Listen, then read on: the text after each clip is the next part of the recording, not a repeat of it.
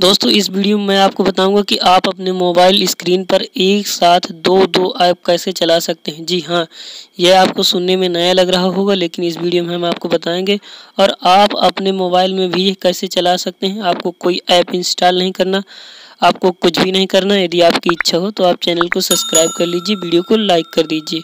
सर्वप्रथम आपको यहाँ पर आ जाना है। आपको यहाँ होम बटन पर यहाँ पर आपको ये वाला बटन दिख रहा है, इस पर क्लिक कर देना है। इस पर क्लिक करने के बाद आपको वो वो ऐप ओपन हो रहे हैं जिनको आपने यूज़ किया है। आपको उस ऐप को सिलेक्ट कर लेना है जिसके साथ आपको दूसरा ऐप चलाना है। मैं इस यूट्यूब को सिलेक्ट कर लेता हूँ। यूट्यूब को सिलेक्ट करने के बाद हमारे पास ये वाला ऑप्शन मिल जाता है पैरेलल वाला।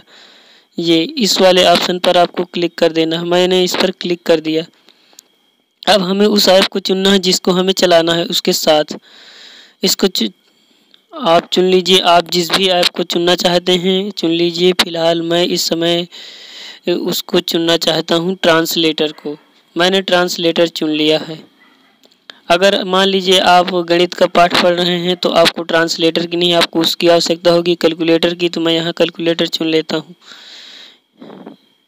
आप देख लीजिए कि मैंने कैलकुलेटर चुन लिया है। यहाँ मेरा कैलकुलेटर भी पूरी तरीके से काम कर रहा है और मेरा यहाँ यूट्यूब भी पूरी तरीके से काम कर रहा है। मैंने यूट्यूब पर वीडियो नंबर टू प्ले कर लिया है प्लेलिस्ट का, जो कि आदित्य सर का है, और यहाँ अब मैं आप साथ साथ अपना यूट्यूब भी चला रहा हूँ। जैसे अब मैं चाहता हूँ कि पचासी में मल्टी हो प्लाई हो जाए, पच्चीस का तो इसने तुरंत यहाँ रिज़ल्ट भी आ गया साथ ही साथ वीडियो भी प्ले हो रहा है।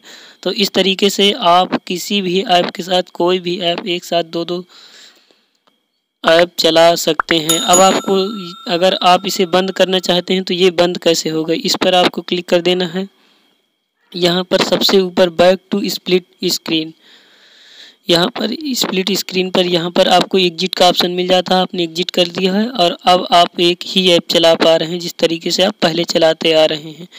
तो अगर आपको वीडियो पसंद आया हो तो भी वीडियो को लाइक कीजिए, चैनल को सब्सक्राइब कीजिए। Thanks for watching this video ये वीडियो केवल M I mobile Xiaomi Poco Redmi mobile के लिए ही है। यदि आप कोई दूसरा मोबाइल यूज़ करते हैं तो आपके लिए हम अलग से वीडियो बना देंगे।